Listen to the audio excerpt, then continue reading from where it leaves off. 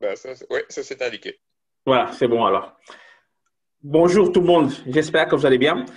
Euh, dans cet entretien, je reçois euh, quelqu'un qui est très connu dans le monde de foot, euh, qui s'appelle Eric. Eric est un agent de footballeur. Et pendant cet entretien, on va parler avec lui de comment est-ce que le business du football fonctionne, comment est-ce que lui, en tant qu'agent, gagne de l'argent et surtout comment est-ce que le footballeur investisse leur argent, comment et pourquoi est-ce que certains footballeurs, après leur carrière professionnelle, sont presque quasiment euh, en faillite? Qu'est-ce qui se passe? Est-ce une mauvaise gestion? Ou bien, mais Eric va nous donner plus de précisions là-dessus. Bonjour Eric, j'espère que tu vas bien. Euh, bonjour, euh, je vais bien, j'espère que vous aussi. ça, va bien, merci. Aller, même, même si les temps sont un peu difficiles avec ce coronavirus, mais on essaye de se préserver. Ah, super. Euh, Eric, pourrais-tu te présenter pour les personnes euh, qui nous suivent? Euh, bah, Je m'appelle Eric Mbaya. Tu disais agent de joueur, mais dans l'ancienne mouture, donc avant la libéralisation des règlements au niveau de la FIFA, j'étais agent de joueur. et une fois qu'ils ont libéralisé, mon travail, ça je le vois plus comme de la gestion de carrière. Donc, je ne suis plus directement intervenant sur des hum, placements de joueurs en courtage de joueurs. Soit je le fais avec des partenaires les trois quarts du temps, et je m'occupe de cinq joueurs que j'ai en gestion de carrière, comme j'appelle ça, donc une gestion plus globale, euh, mhm. qui euh, justement intégrerait une partie des questions que, vous, que tu as posées en préambule. Et donc, on est parti de ce fait-là pour essayer d'avancer là-dedans mon parcours à moi, personnellement, j'ai joué un peu sans mhm. jamais avoir été professionnel, mais j'ai été tout de même à un niveau dans les équipes j'étais en équipe nationale belge de 14 à 18 division 2, et puis euh, blessure euh, des deux genoux, et là un peu d'arthrose, donc impossibilité d'aller plus loin. À partir de là, ben, je suis resté, parce que les parents voulaient qu'on soit scolarisé au maximum, et je suis tout de même resté en contact avec ce monde du foot. Mon frère aîné, qui lui est avocat spécialisé en droit du sport, droit des affaires, droit européen, travaillait au cabinet Miston. Donc, il se faisait que moi, les joueurs avec lesquels j'avais joué en équipe de jeunes, bah, lui, il les conseillait en tant qu'avocat. Donc, il s'est posé la question de savoir qu'est-ce qu'on pouvait faire. Et à un moment, bah, je travaillais à ce moment-là à Paris chez Sachi et Sachi. Et je suis revenu pour. Euh, et on a créé une société qui s'appelait Merca Sport Consulting, dans laquelle euh, on a géré l'image des joueurs en même temps que les aspects plus contractuels et la représentation.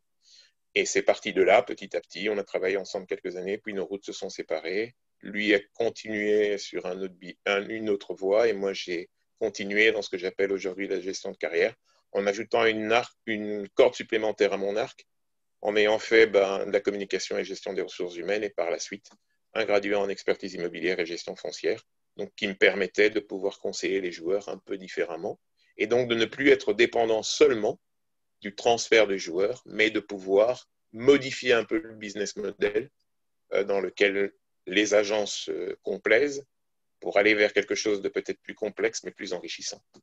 OK. Euh, une question en fait. le parcours que tu as fait pour arriver à la position que tu as maintenant, est-ce un parcours traditionnel? Et par là, je veux dire, en fait, euh, est-ce possible pour quelqu'un euh, de mon âge de se réveiller un matin pour dire, voilà, maintenant, aujourd'hui, je vais devenir agent de football? Tout dépend du pays, tout dépend du marché, parce que par exemple, euh, en France, il y a encore des examens pour devenir agent, pour avoir cette licence d'agent organisée par la Fédération française.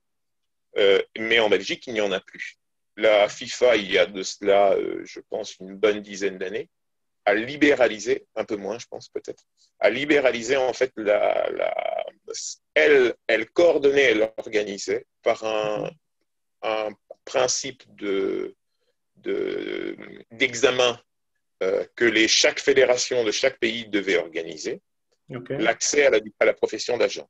Et puis elle a décidé, poussée un peu par le, la communauté européenne à cause de la, restrictions d'accession au marché, de libéraliser tout ça. Et donc, chaque fédération maintenant prend ses propres règles. Et donc, la fédération belge, par exemple, elle, pour elle, pour devenir agent en Belgique, il suffit euh, d'avoir un certificat d'Unviemers vierge, donc pas de casier judiciaire ou pas de certains types de condamnation, de pouvoir prendre une, assurance professionnelle qui assure jusqu'à une responsabilité civile de 100 000 euros et euh, de s'inscrire à la fédération, par Internet, tout simplement, en envoyant ces documents-là, plus deux, trois autres documents annexes, photocopie de carte d'identité et autres, à la fédération, et de payer 500 euros sur le compte de la fédération avec son nom et prénom comme communication.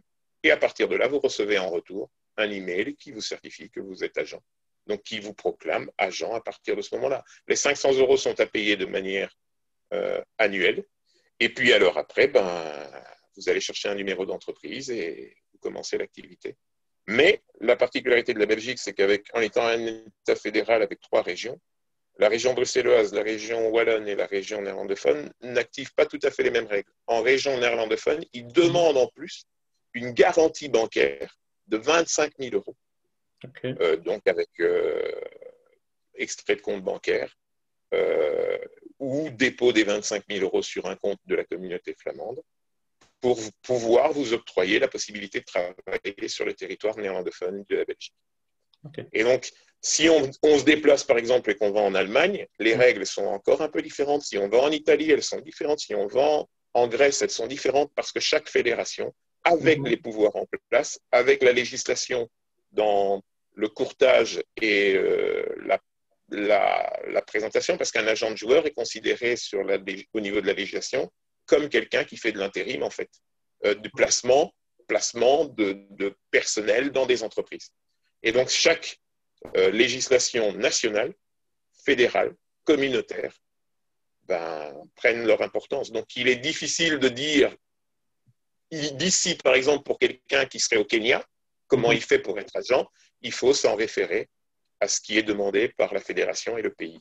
Mais si c'était en Belgique, certificat de bonne vie et mœurs, numéro d'entreprise, euh, assurance professionnelle et dépôt de 500 euros voici les conditions sine qua non en Belgique pour être agent. Ce qui fait que, par exemple, sur le marché belge, où on est grosso modo à moins de 650 joueurs professionnels, je pense qu'on a dû dépasser les 1000 agents répertoriés. OK. Euh, tu as dit tout à l'heure, en fait, que euh, sous toi, tu n'es pas un agent de joueur, mais plus un gestionnaire de carrière. Quelle est la différence entre les deux? Parce que pour l'homme euh, lambda, quelqu'un qui gère euh, les joueurs ou bien place les joueurs et tout simplement un agent de footballeur bah, L'agent de joueur est celui qui... L'agent de joueur, dans l'acception même du métier, devrait être un gestionnaire de carrière. Or, il se fait que par euh, les, les, les, complexités de fonctionnement de ce milieu, un mhm. agent de joueur devient plus un, un courtier. Il fait du courtage. Il place des joueurs selon les demandes du marché. Mais après, pour pouvoir valoriser ces joueurs, pour pouvoir leur permettre d'être performants, pour pouvoir leur permettre de se concentrer seulement sur leur activité, il y a tout un tas d'autres choses à mettre en place. Et là, très très peu d'agents le font. La question que tu me posais en amont, en sachant comment se fait-il que des joueurs qui parfois touchent des sommes énormes se retrouvent sans rien? C'est inhérent au fonctionnement du, du, système et du milieu. Ça il n'y a pas de... L'intérêt le plus probant, c'est que le joueur est toujours fin, qu'il ait envie. Et quelqu'un qui est toujours sous pression et qui, quelque part, euh, est dans le besoin, a mhm. toujours beaucoup plus envie que quelqu'un qui est repu. Et donc, à partir de ce moment-là, on met dans une situation euh, les agents qui présentent des joueurs à des clubs en les repayant. Les joueurs, les agents sont payés par des clubs, en fait. Et c'est là, c'est là toute la, la schizophrénie du principe. C'est-à-dire que je prends un joueur qui m'accorde sa confiance, il me donne sa convention. Donc, il signe sa convention, il veut travailler avec moi. Mais dans le milieu, je ne suis payé qu'à partir du moment où le joueur, lui, trouve un club. Et en fait, le joueur va trouver un club, je vais prendre un exemple lambda, le joueur va toucher 100 000 euros, c'est ce que le joueur veut. Et le club, pour que le joueur touche 100 000 euros, si on respecte les réglementations FIFA qui disent que je ne peux toucher que 10% maximum euh, du salaire brut du joueur, si le joueur touche 100 000 euros brut, je ne pourrai donc toucher que 10 000 euros de commission. Mais la commission m'est payée non pas par le joueur, mais par le club au moment où je mets le joueur dans le club. Et donc de là, ce qui, moi, me fait réagir en étant presque un conflit d'intérêts. C'est-à-dire que si maintenant, moi, j'ai un joueur qui signe une convention avec moi, et que ce joueur preste et qu'il est bon, et que je le présente dans le club, mais dans le club, le directeur sportif ou l'entraîneur ou le président me disent oui, mais il est très très bon, mais ce n'est pas celui-là que je veux, c'est tel profil de joueur que je veux. Qu'est-ce que je fais? Je défends les intérêts de mon joueur jusqu'au bout, ou alors je profite du fait que bah, j'ai eu l'accès jusqu'au décideur dans le club pour présenter un autre profil. Parce qu'au final, celui qui me payera, c'est le club, c'est pas le joueur. Alors que dans l'autre logique de fonctionnement, celle qui met le joueur au milieu de tout, c'est de dire, OK, le joueur, il est là, il est en place. Du début de sa carrière à la fin de sa carrière, il a cinq besoins majeurs auxquels il doit répondre. Ces besoins, ils sont très simples le suivi médical. Son premier outil, c'est son corps. Donc, il doit se connaître par cœur. Le suivi médical est très important. La deuxième chose, c'est dès le moment où on commence à travailler avec un joueur, c'est toujours se poser la question de l'après. Qu'est-ce qu'il fait après sa carrière? Il est joueur de foot professionnel, c'est repris dans ses identités, c'est repris sur sa carte d'identité, sur son passeport. OK.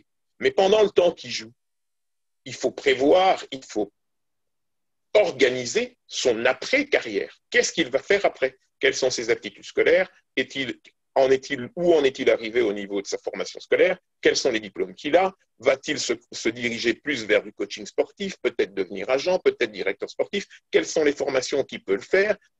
À distance Se mettre, mettre tout ça en place et organiser tout ça.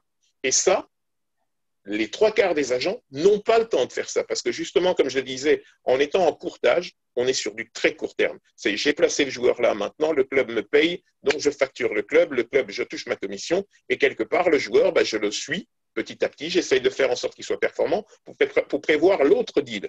Et son devenir dans 5 ans, dans 10 ans, bah, il ne me concerne pas. Par contre, quand on a euh, le suivi médical, quand on a la préparation de l'après-carrière, quand on a évidemment le courtage, qui est un troisième point, le courtage qui veut que le joueur puisse euh, être valorisé sur le marché et pouvoir être présenté à différents clubs. La gestion de patrimoine, qui est importante parce que les joueurs, ben, très très très vite, touchent des très grosses sommes et ne sont pas forcément préparés à cette manne d'argent qui leur tombe dans les mains. Et donc, quelque part, trop d'argent parfois brûle un peu les mains, il le dépense un peu de manière inconsidérée. Et puis alors la gestion de l'image. La gestion de l'image au jour d'aujourd'hui dans le, dans le monde dans lequel on vit, par Twitter, par Instagram, par Facebook, par euh, toutes les possibilités qu'une personne lambda a de faire une photo d'une personne publique dans une mauvaise posture, tout ça doit s'organiser, se gérer pour toujours essayer de valoriser au mieux l'image du joueur. Donc une fois qu'on a déterminé ces cinq points-là, ben, quand on fait ces cinq points-là, et que ces cinq points sont quasiment aussi importants les uns que les autres, par moment, certaines prennent un peu plus d'importance. Mais sur la durée, tous ces cinq points sont importants. C'est ce qui permet de, prendre de, signer un contrat avec un joueur qui a 17 ans, de le garder sur la durée jusqu'à 23, 24, 25, 26, 27, 28, 29 ans, de faire en sorte qu'il ait toujours une courbe ascendante parce que tous les autres paramètres sont gérés au niveau de l'augmentation de ses salaires, en passant d'un club à l'autre, parce que ça veut dire qu'il est performant, de son suivi médical, parce qu'on protège son capital physique tout le long de, son parcours sportif, et que de l'autre côté, on organise son image pour qu'elle corresponde à ce que désire quelque part le marché, et tout cela est structuré toujours dans un seul but, c'est d'amener le joueur, quel que soit son âge, quel que, quel que soit le moment où on rentre en contact avec lui, à une fin de carrière dans laquelle il pourra complètement s'épanouir et changer de voie. Et ça, pour cette logique-là, il faut être lié au joueur sur la durée. On ne peut donc pas penser à court terme, on doit penser à long terme. Et c'est là la dichotomie entre l'agent et le gestionnaire de carrière. Alors, de très très bonnes agences et de très grandes agences font les deux. il y a des agents, mais derrière, il y a une structure qui gère. Mais c'est très, très, très rare. Et c'est beaucoup plus présent dans les pays anglo-saxons.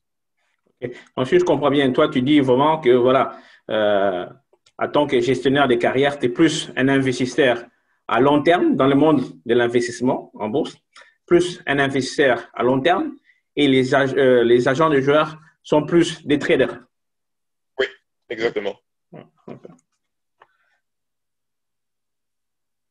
Quels sont les challenges euh, dans ce que tu fais, que tu rencontres tous les jours?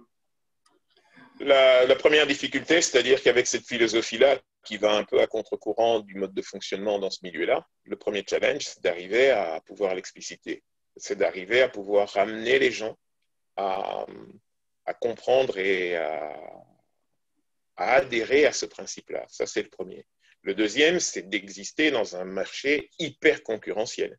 Parce que des agents, il en existe par le monde des centaines, des milliers et que chacun, toujours dans cette vue à court terme, prend le besoin maintenant. Et que quelque part, la différence entre un gestionnaire de carrière et un agent, c'est qu'un gestionnaire de carrière peut euh, émettre une convention et soumettre cette convention à, aux joueurs, qui fait qu'il est lié aux joueurs sur la durée. Un agent lambda, quel qu'il soit, logiquement, selon les réglementations de la FIFA, la durée maximale de contrat entendue entre un, entre un agent et, son, et le joueur, et de deux ans, 24 mois. Tacitement reconductible, reconductible sous certaines conditions, mais c'est 24 mois. Donc, si maintenant, je prends un simple exemple, je suis un joueur, je mise sur un joueur, ce joueur ne me paye pas au départ, comme je l'ai expliqué au départ. Je suis ce joueur-là qui a 17 ans, 18 ans. Je me déplace, je vois ses matchs, je fais un suivi sportif, je le conseille, je le place dans dans, un cocon arrive à un moment où il reçoit une offre d'un club plus UP qui le veut. Et ce club vient et dit oui, ok, mais pour rentrer dans ce club-là, tu rentres pas avec M. Eric Bayard. Nous, on a un agent qui nous a amené à toi et tu dois signer avec cet agent-là si tu veux signer dans ce club-là. Bah alors à ce moment-là, qu'est-ce que fait le joueur? Est-ce qu'il reste fidèle à l'agent de départ, en sachant peut-être que je, je manque euh, la montre en or? Ou va-t-il se laisser tenter et donc, à partir de ce moment-là, ben, c'est là qu'est la difficulté. C'est-à-dire qu'il faut prendre la confiance, il faut générer quelque chose, il faut créer un lien, il faut être suffisamment présent, il faut maîtriser certains paramètres et certains domaines. Quand je dis de la gestion de patrimoine, par exemple, pour ce qui me concerne, ben, étant gradué en expertise immobilière et gestion foncière, pour tout ce qui est investissement immobilier, je conseille en direct. Pour ce qui serait placement financier, produit d'assurance, je ne conseille pas en direct. Je fais un choix sur le marché selon des euh, éléments euh, pragmatiques, factuels, et je travaille avec certains partenaires qui ont pignon sur rue, qui sont bien connus, qui ont une réputation sur le marché et qui dépendent aussi, euh, ça dépend aussi le travail que je vais faire avec eux, de la capacité d'investissement du joueur. Je ne vais pas aller chez un gestionnaire de alors que j'ai un joueur qui gagne euh, le minimum légal en Belgique, c'est-à-dire plus ou moins 1400 euros net par mois. Je vais devoir le déplacer vers un courtier plus, proche qui va directement répondre à ses besoins et qui sera peut-être beaucoup plus euh, éducatif pour lui que de l'amener vers un, grand marché auquel il n'a pas accès. Donc toutes ces, strates-là, ces besoins-là sont quelque part à mon niveau des updates à faire à chaque fois. Je dois me remettre au courant, je dois échanger avec les milieux euh, bancaires, les milieux des assurances, les milieux de l'immobilier, pour comprendre ce qui se fait, pour comprendre quelles sont les, les, modifications qu'il pourrait y avoir. Dans le domaine immobilier, par exemple, il y a un gros boom pour le moment des maisons de conteneurs, avec, si possible, beaucoup de technologies qui pourraient être mises en place pour pouvoir avoir ces maisons en plus passives. Et donc, quelque part, si on reste dans la gestion à long terme, ça reste des placements qui sont très, très, très envisageables pour ces joueurs. C'est en fait le, plus gros des paris, c'est de rentrer dans ce milieu-là et de se dire, OK, on est dans un milieu qui vit sur le moment. On est dans les milieux qui vit de l'émotion, qui génère, de l'émotion par euh, la présence des flux dans le stade. Et là, on doit amener de la raison, du recul, de la projection. Et donc, dans ce cadre-là, il faut toujours être en équilibre entre les deux points. Et c'est là que c'est le plus difficile. Parce que, comme tout le monde, bah oui, si demain un joueur est transféré à Barcelone et que ça reste du court terme et que la commission est peut-être de 3 millions d'euros, bah, toute agence penserait que oui, je dois y aller maintenant. Mais si mon joueur a 19 ans et que je transfère à Barcelone et qu'il touche 3 millions d'euros, mais que par la suite, il joue très peu à Barcelone, voire quasiment pas, oui, il sera à une certaine valeur sur le marché, mais cette valeur sera décroissante. Alors que justement, s'il était passé par un club intermédiaire, un peu moins UP, qu'au lieu d'avoir 3 millions de commissions, j'en avais pris peut-être que 1, mais que ce joueur, en entrant dans ce club, et avait pu avoir, pu avoir sa chance croissante. C'est un peu cette dichotomie-là, c'est cet équilibre qu'il faut trouver entre un monde qui vit de l'émotion, qui vit le moment, qui pense à mhm. court terme, et de la raison, un cadre de gestion, et, se projeter toujours. Une question en fait. Et quand on parle en football euh, de long terme, euh, en foot, 5 euh, ans, c'est un long terme. Une question en fait. Tu as dit tout à l'heure euh, qu'en Belgique, en tant qu'un jeune footballeur, la, majorité des contrats, c'est pour deux ans. Mais admettons que toi, tu as investi sur un joueur pendant au moins un an et demi. Et euh, après, un autre agent le récupère pour l'amener euh, dans un club.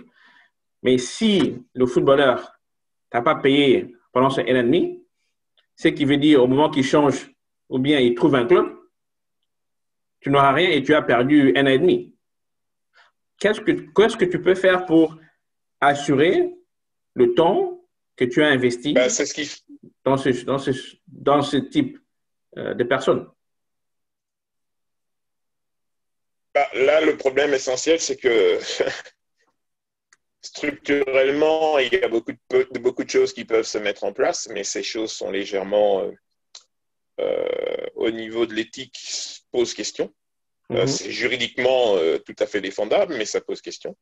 Logiquement, un joueur que tu tiens pendant un an et demi et qui part vers quelqu'un d'autre, il lui suffit à ce joueur de t'envoyer un recommandé pour résilier le contrat qui vous lie. Et la relation s'arrête sous week-end. Point. Après, parce que euh, quand le joueur est introduit, donc la difficulté, c'est que les trois quarts du temps, c'est les clubs qui payent quand le joueur est transféré. Donc, si moi, par exemple, ben, j'ai euh, Samuel et mon joueur, ben, Samuel bloc, hein. me donne un mandat. Mon écran bloque Oui, de temps en temps, oui. Ah, euh, parce que j'ai des messages qui rentrent, je suis sur mon ah. téléphone. Donc, ah, euh, parfois, voilà, maintenant là, là c'est revenu à la normale Oui, c'est bon, oui, c'est bon. Donc, tu es très populaire, je, vois, tu es très populaire. Bah, non, pas forcément, c'est des messages qui rentrent. Euh, très populaire. Mais ici, la, difficulté, la, difficulté elle, est, elle est très simple. C'est que si le joueur m'envoie un recommandé, Mhm. et que moi j'ai introduit le joueur vers un club, comme mhm. c'est le club qui doit me payer, les trois quarts des agents essayent de sécuriser leur, leur euh, euh, paiement au niveau du club. Ce qui fait qu'en fait, quand moi je suis agent d'un joueur, si j'ai le contrôle complet du joueur, parce que là on ne parle que d'un joueur que j'aurai seul sous mandat, mais ce qui se fait aussi souvent en Belgique, c'est d'avoir un seul joueur, mais qui a trois, quatre, cinq, six représentants qui a des mandats de courte durée. Un seul joueur peut donner, me donner un mandat pour le joueur à Feyenoord et te mhm. donner un mandat à toi pour euh, Rotterdam, euh, pour euh, Et donc, si maintenant, moi, j'ai le mandat de Feyenoord et que le deal se fait à Den Haag, bah, sur mon mandat, il est écrit Feyenoord, je ne peux rien dire. Par contre, si j'ai le mandat worldwide, mhm. sans limite territoriale, et qu'il t'a signé un mandat à toi et que toi, tu l'amènes à Den Haag, ben, je me présente avec mon mandat au club. Et je dis, mais il y a un problème. Le joueur est sous convention avec moi et vous avez fait signer le joueur. Oui, mais il a été présenté par Samuel. Ce n'est pas mon problème. Moi, j'ai une convention en bonne et due forme. J'ai photocopie du passeport et de la carte d'identité du joueur. J'ai un témoignage d'une personne présente au moment de la signature. Et tout ça a été enregistré à la fédération. Donc, je ne comprends pas comment vous pouvez le faire signer sans que je ne sois là. Mais là, vous êtes parti pour les démarches juridiques. Ah, mais est-ce que ça, ça arrive? On le pense très, très souvent. Très, très, très souvent. Donc, l'une des équations après avoir fait ce parcours-là, comme je disais avant, quand les, la FIFA régulait encore les choses de ce point de vue-là, bah, j'avais ma licence d'agent. Donc à partir de ce moment-là, j'étais couvert dans ce cadre-là. Mais maintenant que, comme je l'ai expliqué, entre chaque pays, les réglementations sont différentes et que c'est un peu le western, c'est un peu Far West là. Donc à partir de ce moment-là, la logique, ah bah oui, la logique ce serait de se positionner plutôt dans un cadre de gestion de carrière. Et donc qu'est-ce qu'on fait? Bah, Dans le cadre de gestion de carrière, moi, ici assis devant toi, un joueur signe une convention avec moi. J'ai les conventions avec d'autres agents sur différents territoires. Si le joueur doit signer en Belgique, je le fais par ma propre personne. Si le joueur doit signer ailleurs, j'envoie juste copie de mon mandat et je donne mandat sur ces territoires-là à une personne. Et donc le joueur, au lieu d'être représenté, comme je disais là, par trois, quatre personnes différentes, il est représenté par une seule structure qui organise tout et qui cède des mandats à différents intervenants sur différents territoires. Donc à partir de là, moi, en tant qu'agent du joueur, je sais que sur le Portugal, j'ai donné le mandat à Emmanuel Cuerto. Sur l'Espagne, je l'ai donné à Pavlos euh, Dianis. Sur la Grèce, je l'ai donné à Paris Prodomidris. Je, fais un point avec eux tous les vendredis matin en vidéoconférence. On discute, clac, clac, clac, où t'en es, tac, tac, tac, tac. Et le joueur n'a plus besoin de s'inquiéter, ni de se tracasser, de savoir j'ai les retours. Mais pour ça, il faut une relation de confiance. Et ce qui est le plus dur à installer dans ce monde-là, c'est la relation de confiance. Parce que comme il est hyper compétitif et que les règles sont assez bien définies, mais très facilement contournables, tout le monde attaque tout le monde. Tu as un joueur qui a signé une convention avec toi pour deux ans, qui est ton joueur, tu es son représentant, tu es son agent. Ben, du jour au lendemain, Pierre, Paul, Jacques va venir, va dénigrer, va parler de ci, de ci, de ça, va faire tourner la tête au joueur, et parfois ça marche.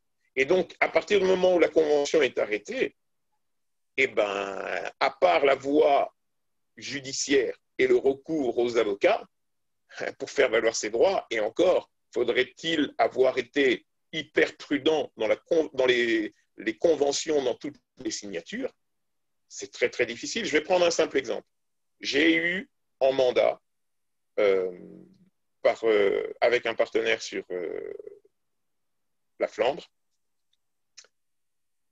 Dino Topmuller l'agent, l'entraîneur qui était à Virton et qui est devenu, euh, qui est parti de Virton en novembre 2019.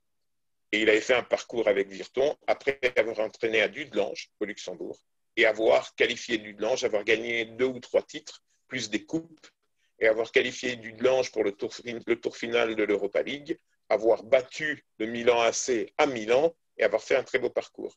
Il est parti de là, il a repris une équipe de division 2 belge, il venait de la division 3, il a construit cette équipe et il a fait monter cette équipe quelque part. Et si le championnat belge n'était pas un championnat avec des playoffs au final, ben, au nombre de points, cette équipe-là était championne. Mais pour une diverses raisons, il a quitté le club au mois de novembre. Au mois de novembre, on reste en contact. Au mois de janvier, on signe un mandat on signe un mandat sur la Belgique pour six mois. Nous l'avons présenté à différents clubs belges qui ne l'ont pas pris. Mais notre mandat, territorialement, il est lié à la Belgique. Cet, entraîneur-là a signé par son agent historique qui nous avait accordé le mandat de travailler pour lui, pour la Belgique, a mhm. signé au jour d'aujourd'hui comme T2 de Leipzig. Est-ce que tu dis que c'est un monde très euh, compétitif euh, Est-ce qu'il y a beaucoup de gens de couleur euh, dans ce domaine-là?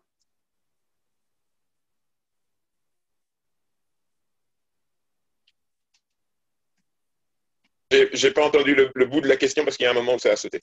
Je disais ceci en fait. Tu dis que voilà, c'est un monde très compétitif. Et je me demandais en fait, est-ce qu'il y a beaucoup de gens de couleur comme toi euh, dans ce milieu?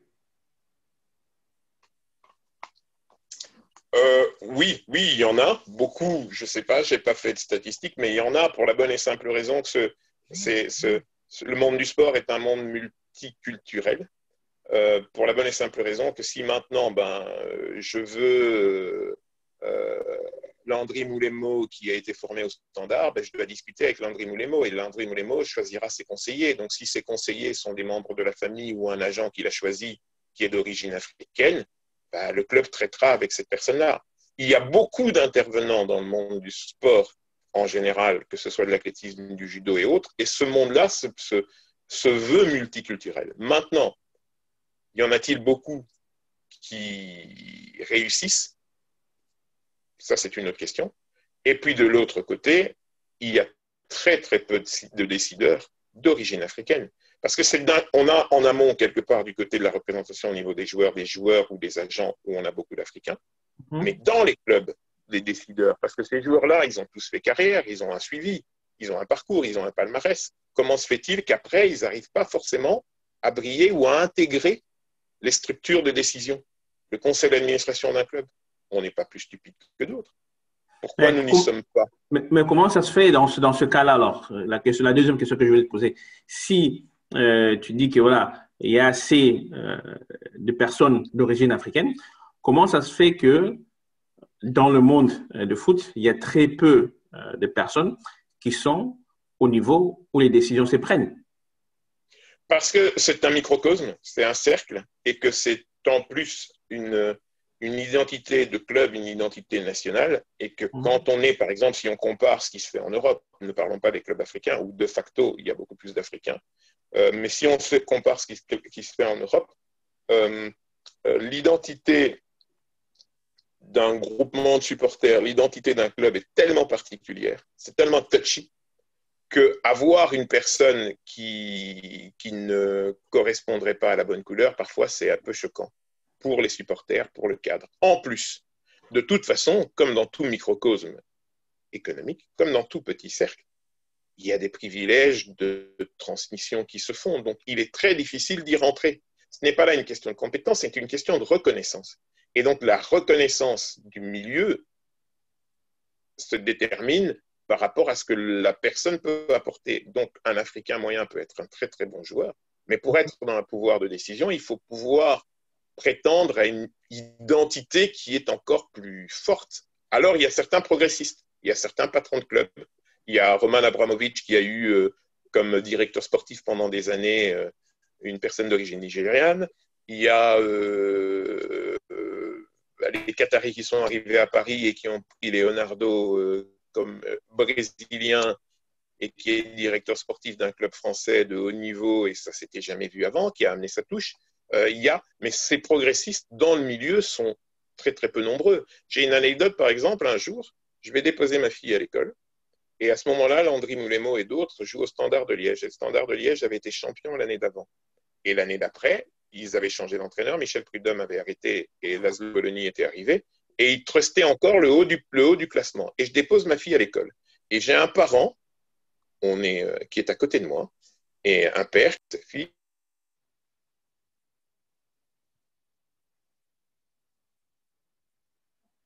Eric, ton son est parti. On ne t'entend pas. Ah, tu es revenu.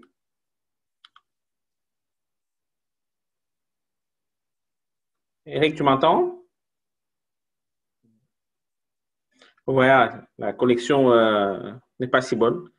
On vient de perdre Eric. Espérons qu'il va se reconnecter.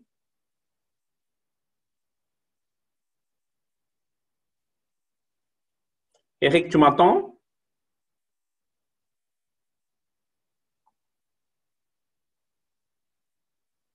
Non, toujours pas.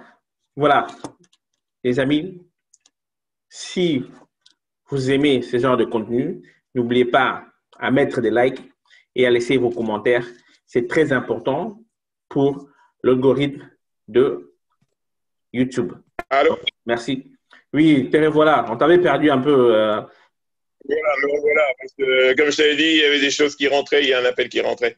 Et donc, euh, ce que j'expliquais, c'est de dire, euh, euh, quand on arrive à, un cercle de décision, l'exemple mhm. que je prenais, c'est que le père dit à son fils, alors qu'on est dans la, cour d'école, son fils dit, ouais, mais moi, je j'aimerais bien aller voir le match du standard. Et le père répond à son fils, ah non, non, moi, je ne vais pas voir ce match-là, il n'y a, a que des noirs. Mais dans l'équipe du Standard qui a été championne de Belgique, oui, il y avait peut-être 10, 11 joueurs noirs sur 25 joueurs. Mais dans les sphères de décision, Lucien Donofrio, Pierre-François, le club appartenait encore à Dreyfus au niveau de l'actionnariat, Mhm. Et quand tu rentrais dans les bureaux du standard, il n'y avait pas de noir. Donc, si cette personne en plus se retrouvait face à un directeur sportif ou face à un décideur noir, ben là, ça allait être encore plus, plus, plus fixé. Euh, Patrick de Kuiper, l'ancien président de Zultwaregem et de l'Antwerp, a repris le club de René, des quatre Belges. Il a repris ce club-là et il a son pari, c'est de dire je vais reprendre des joueurs qui n'ont pas forcément réussi en post-formation dans les clubs de D1 et qui ont été formés jusqu'à au U23 et qui n'ont pas réussi à avoir ce contrat-là. Et je vais les remettre avec une grosse charge de travail, avec des entraînements tous les jours, et on va prendre le risque. Donc on va faire jouer des jeunes. Il a commencé ça la saison il y a déjà 15 euh, mois, et puis il m'a demandé de venir donner un coup de main, de rentrer dans le comité sportif du club. Ben, je sais exactement, je suis dans ce comité sportif avec Patrick de Kuiper, Thomas Kars, et euh, euh, Yves Van Koppenol, le président historique du club qui est le président d'honneur, et euh, le T1 du club dans la prise de décision globale. Mais je reste à ma place. Je fais partie du comité sportif, mais je ne suis pas le directeur sportif, le représentant ou le ci ou le ça. On prend des décisions globales, des décisions qui, dans l'idée que nous, on se fait du jeu, font que, et quand on vient, chacun présente des joueurs, on essaye de voir le pour, le contre, et on se retrouve à mon corps défendant quelque part là. Mais pas forcément des joueurs que moi j'ai ramenés. Mais on se retrouve avec une équipe où il y a des joueurs français d'origine africaine, mais on se retrouve avec une équipe à 12, 13 Africains, avec un T2 préparateur physique d'origine vietnamienne. Mais on est en Flandre, dans une Flandre, et, et cette équipe en plus a une grosse, une forte connotation francophone parce qu'elle est francophile. Donc on est dans un cadre qui est totalement ahurissant. Mais un jour, je vais voir un match. Et comme j'arrive toujours, moi je ne les entraîne pas, donc je ne viens pas là pour l'échauffement et autres, j'arrive juste au début du match. Donc les gens sont déjà en place et j'arrive et j'ai une carte d'accès. Et donc sur ma carte, il est marqué le nom du club avec membre du board. Et donc quand je donne ma carte, je ne paye pas.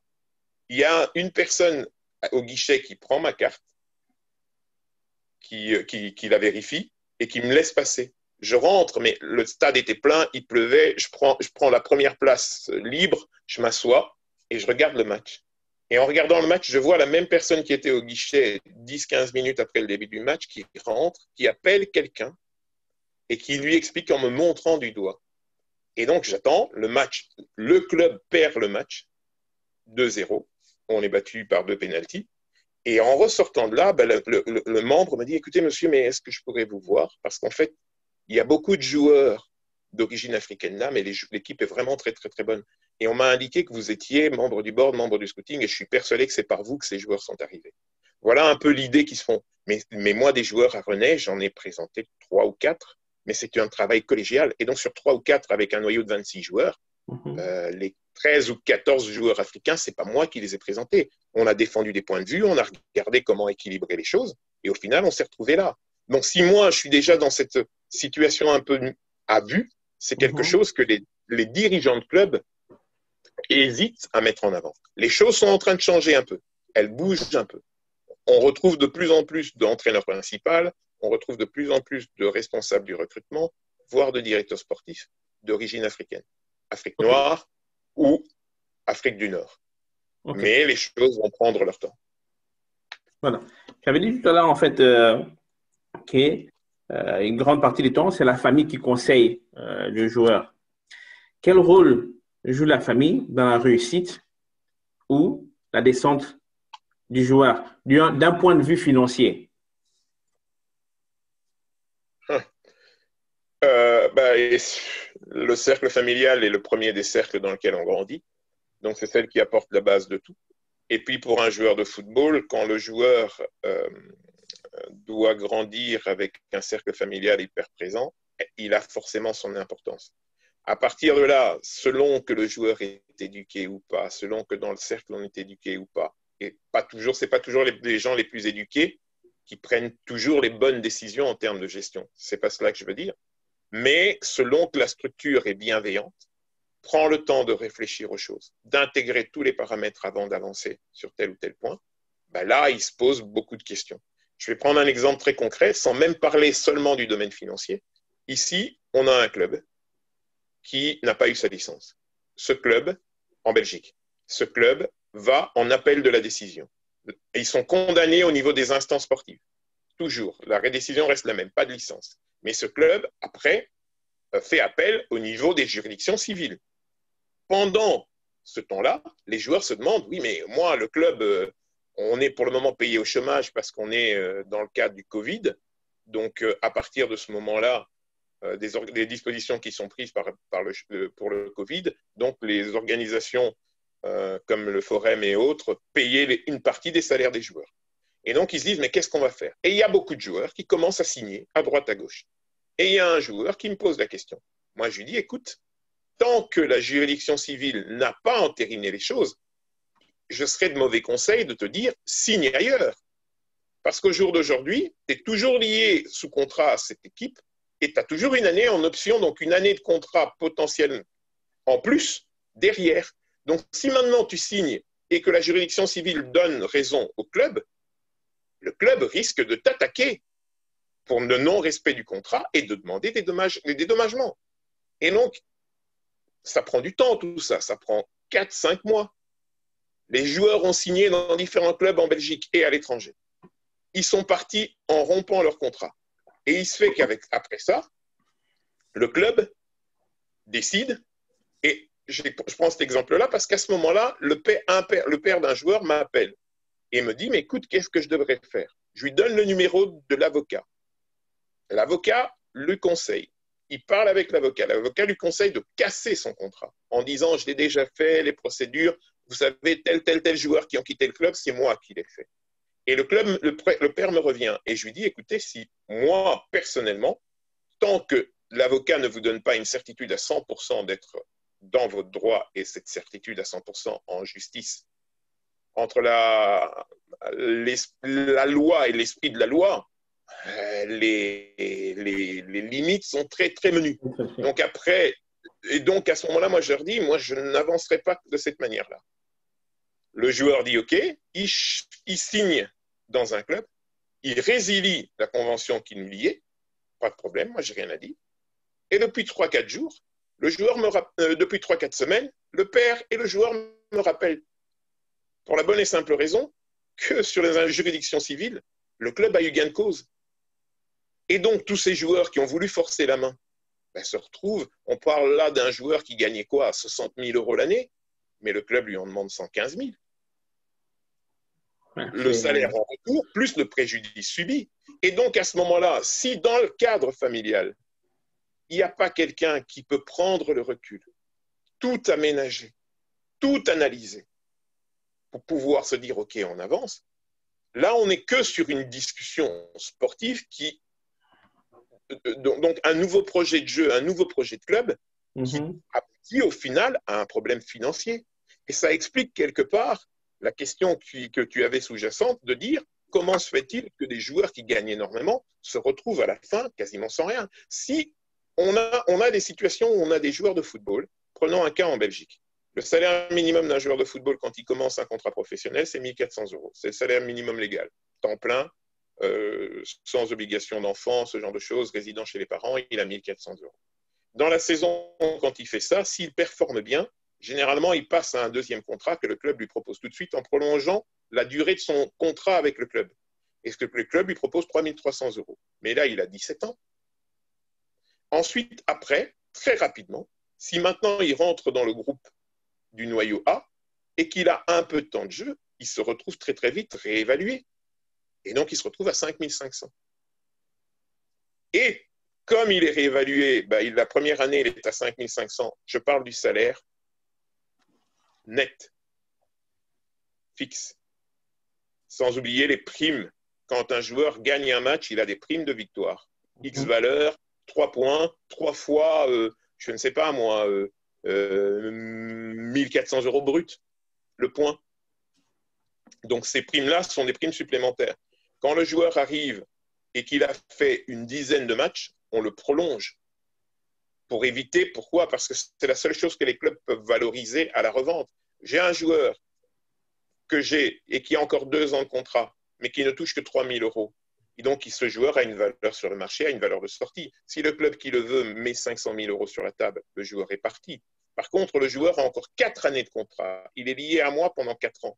Et ce joueur, je l'ai formé en plus. Il a été formé dans mes. Donc, il y a les indemnités de formation qui sont fixées par, la FIFA, que le club doit, que le club acheteur doit prendre en charge, plus la valorisation du joueur sur le moment, plus une valeur sur le marché qui est déterminée de manière complètement aléatoire. Donc, il se fait que le même joueur, en prolongeant son contrat de 5 ans, au lieu de le garder à 2 ans et de le garder à 3 000 euros de salaire, mais si je le passe à 10 000, ce même joueur passe de, avec une capacité de présence et de performance sur les matchs qu'il a joués, mais passe de 500 000 euros à 3 millions et demi.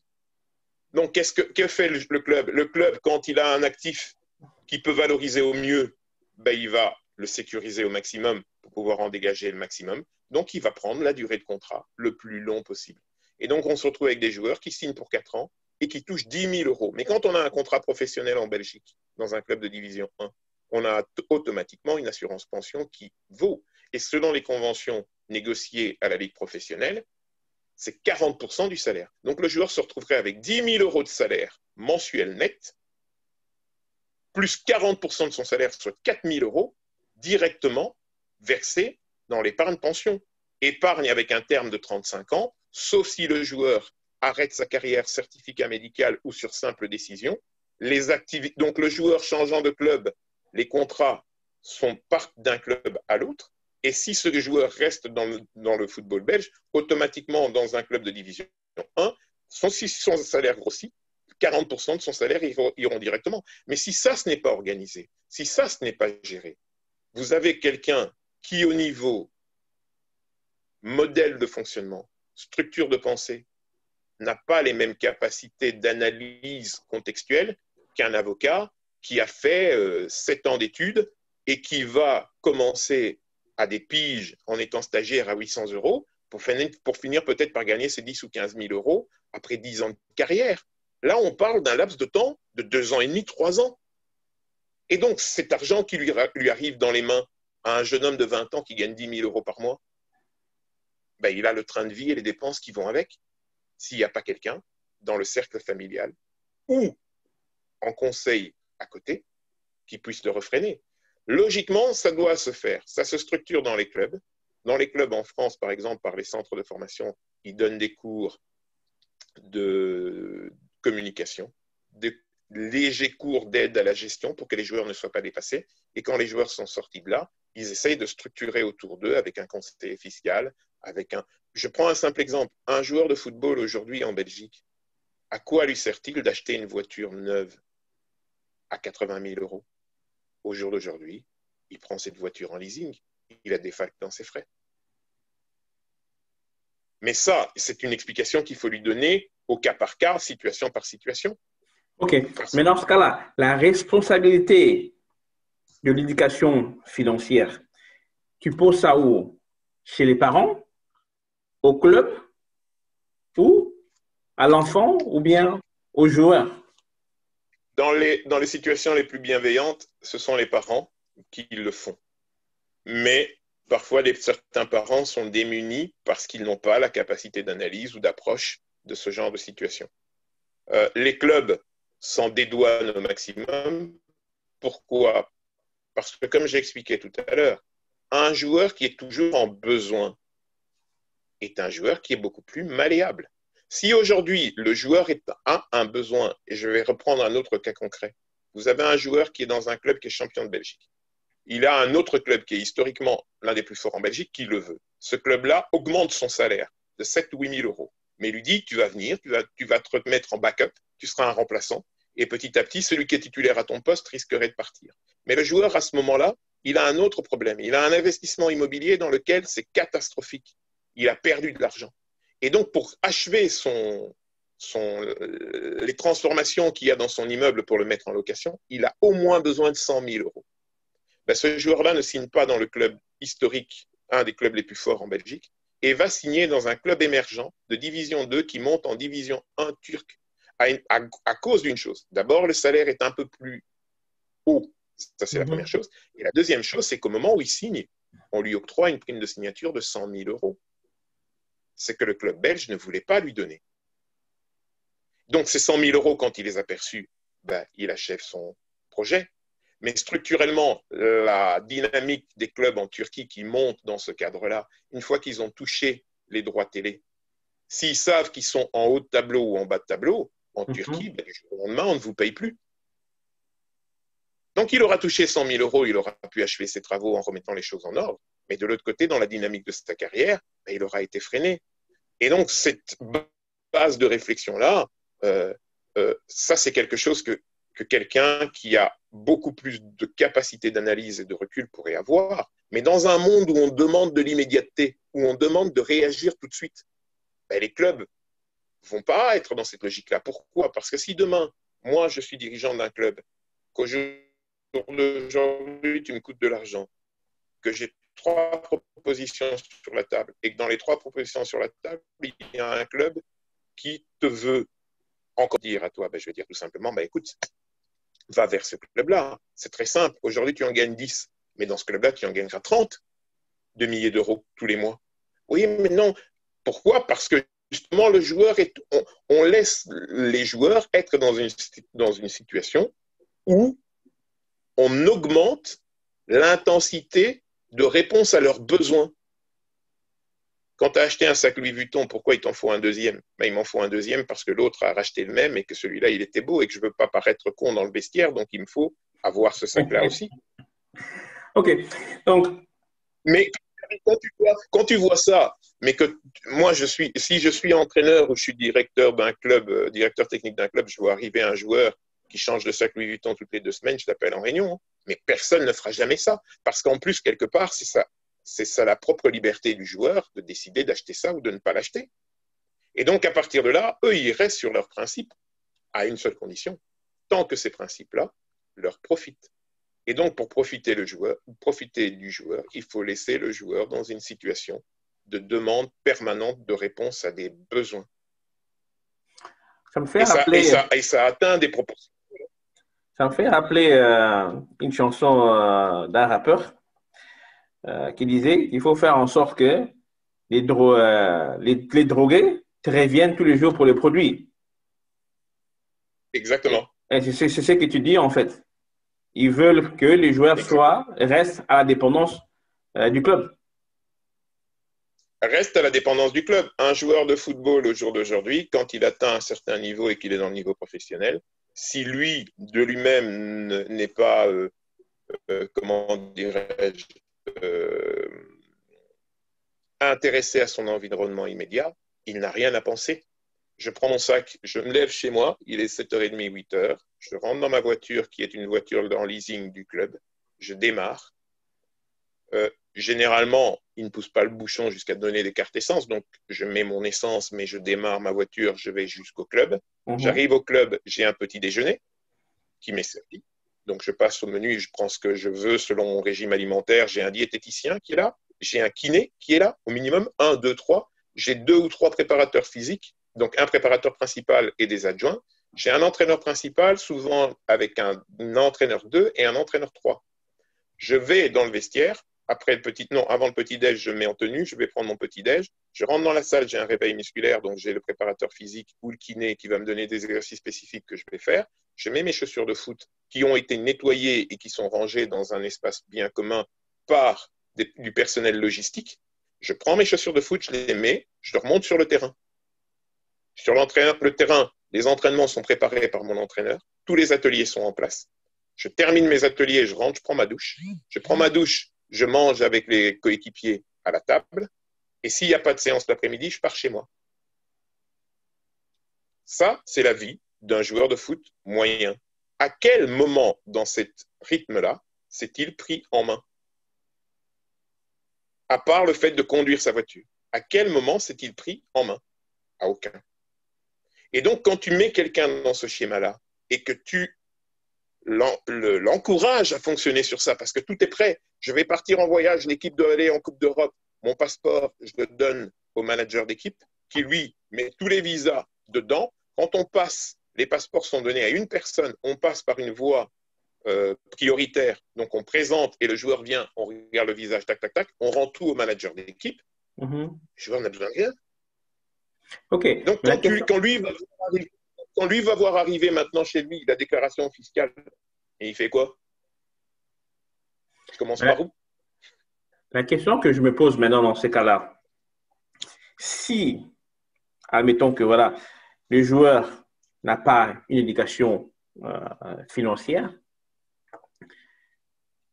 qu'est fait l'équipe ou bien les agents ou bien toi pour euh, leur venir en aide sur ce domaine-là financièrement on va prendre par exemple, toi, que fais-tu euh, pour tes clients pour leur donner ou bien euh, leur soutenir sur leur manquement euh, côté finance? Parce que jusqu'à présent, tu ne m'as pas amené des clients.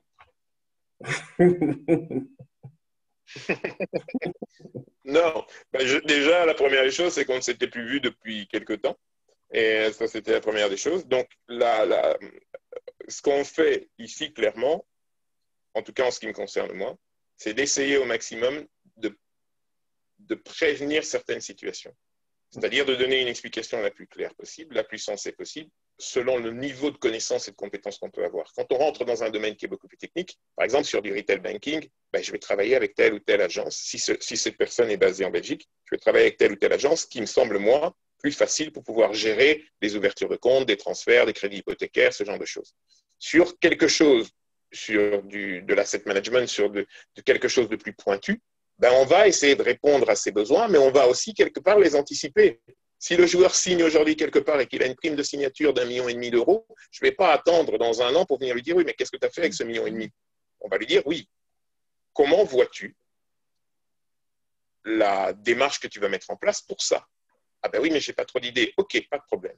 On va aller vers tel, tel, tel conseiller. Mais tu restes le décideur tu restes au final celui qui prend la décision. Et le principe de base, c'est celui-là. Donc, il faut expliciter les choses en amont et puis laisser la personne avoir la possibilité d'avoir un panel de ce qui se fait et de prendre une décision en situation. Ne jamais se précipiter. Je réponds toujours à mes joueurs. Si quelqu'un te dit demain, tu signes dans ce club maintenant, ou si c'est demain, tu ne signeras jamais dans ce club, alors ne signe pas. Parce que tu es déjà mal parti. Mon, mon euh, donc, c'est déjà mal parti. Donc, à partir de ce moment-là, on prend le temps d'analyser les situations. Et après, on essaye d'avancer. Il y a les joueurs, par exemple, qui avaient amplement les moyens de rouler en Porsche, qu'on a quelque part conseillé de ne pas se lancer dans ça. Parce que l'image qu'il avait dans le club, la situation qui était la sienne dans la hiérarchie du vestiaire, faisait qu'il ne pouvait pas se permettre. Il avait des coéquipiers qui arrivaient en Ferrari, en Porsche, mais il n'avait pas, il n'avait pas se permettre ça à ce moment-là. C'était encore un jeune, un petit contrat, mais dans un club qui était déjà d'un très très bon niveau. Par contre, quand il a eu son transfert et qu'il a bougé et qu'il est parti ailleurs, ben oui, on lui l'a laissé faire parce qu'il il a intégré un autre niveau de gestion. Et donc, à partir de ce moment-là, bah oui, il est allé chercher sa Porsche Stuttgart. Et oui, il a pris des habitudes. Mais c'est toujours globalement le joueur qui doit être demandeur. Il ne faut pas non plus être, venir le vampiriser et venir en amont. Ce qu'il y a, c'est que les trois quarts des agents ne font pas ça. Parce que, d'abord, quelque part, il y a beaucoup, c'est pas qu'on soit omniscient, mais il y a un niveau de compétence qu'il faut avoir, il y a un niveau de capacité de gestion et de recul par rapport à les situations qu'il faut mettre en place. Et donc, tout ça, quand ce n'est pas mis en place, ben, c'est beaucoup plus difficile. C'est beaucoup plus difficile.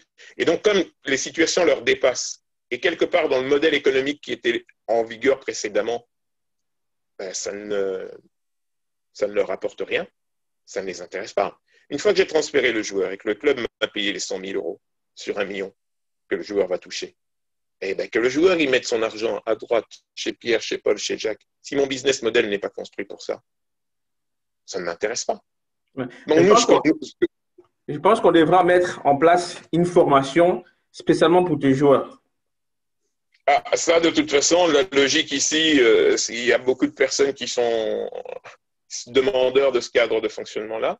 Mm. J'ai un, un, ami et partenaire euh, banquier et assurance qui, euh, qui, qui, lui, essaie déjà de mettre aussi quelque part des petits modules, parce que ce sont des joueurs qui sont dispersés, ce sont des personnes qui n'auront pas énormément de temps, c'est une question de confiance qui doit s'installer, mais, et j'insiste, ce que je mets en place avec les joueurs, les joueurs savent à chaque moment quel est le plan tarifaire. toutes les situations sont mises en place. On a une convention qui est une convention de gestion de carrière sur une durée indéterminée avec un préavis de sortie. Et quand ce préavis est, fait, le joueur n'a plus de compte à rendre à la structure. Mais pendant cette durée-là, c'est le joueur qui paye. C'est le joueur qui paye. Quand ma convention de gestion de carrière, le, client, c'est le joueur. Alors les sommes sont déterminées par rapport au salaire qu'il touche, par rapport à un pourcentage sur ce salaire. Entendons-nous bien, il n'est pas de 10%, mais par rapport à un pourcentage sur ce salaire global. Mais après, ça lui permet, par exemple, dans le cadre de la préparation d'après-carrière, si on a un joueur qui a son bac et qui s'entraîne, on sait que la préparation au mois d'août, juillet, juillet-août, il a deux entraînements par semaine, il a une grosse charge de travail. Mais dès qu'on arrive au mois de septembre, il a cinq entraînements par semaine. Sans compter s'il a des matchs, on est en période de coronavirus pour le moment, les joueurs professionnels jouent quasiment en division 1 partout en Europe, ils jouent quasiment tous les trois jours. Donc ils ont des entraînements de récupération. Mais quand il rentre chez lui et qu'il s'est entraîné jusqu'à 11h30 ou midi, de midi à 20h, il fait quoi? Et donc c'est par ce moment-là, à ce moment-là, qu'on met des modules en place, des cours, des cours à distance, Mhm. avec, des programmes qui sont. S'il a, son, a son bac, pourquoi ne pourrait-il pas faire des cours, une formation en gestion de deux ans, par cours à distance, avec des examens parfois en présentiel, mais sur des rendez-vous qui sont pris. Donc ces examens pourraient se faire dans la période hors saison. Mais pour ça, il faut que le joueur soit demandeur de ça. Parce que l'exemple que je prends toujours, et ça c'est un joueur très célèbre, je ne connais que de réputation et d'avoir entrecroisé une seule fois, mais prenons le cas de Franck Ribéry. Franck Ribéry, à un moment, se, retourne, se retrouve au Bayern de Munich. Au Bayern de Munich, il a un salaire, mais qui est monumental. On approche avec les primes à, peu près 800 000 euros par mois. Mais est-ce que vous vous rendez compte que Franck Ribéry touche 800 000 euros par mois? Mais demain, il voudrait ouvrir un night shop ici, il n'a pas la capacité de gestion. Il n'a pas la capacité de gestion. Il n'a pas son bac.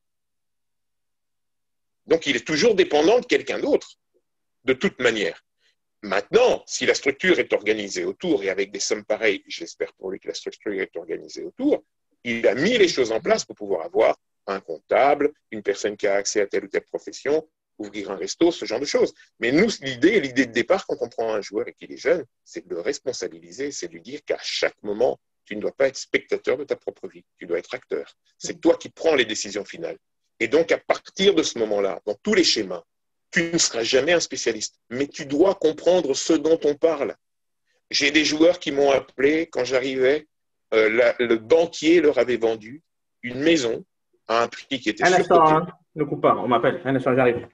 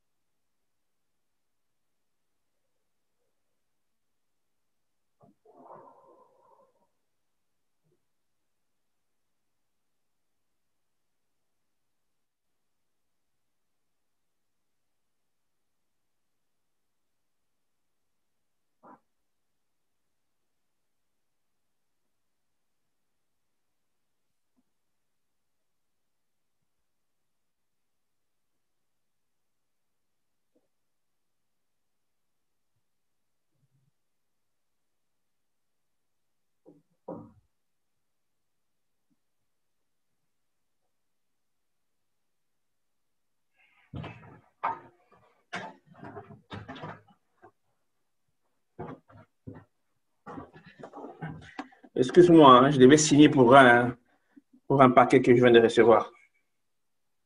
non, il n'y a pas de souci. Il n'y a pas de souci.